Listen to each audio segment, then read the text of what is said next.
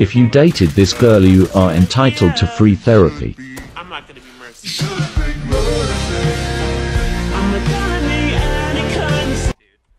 hate people like you that skip fucking. So annoying.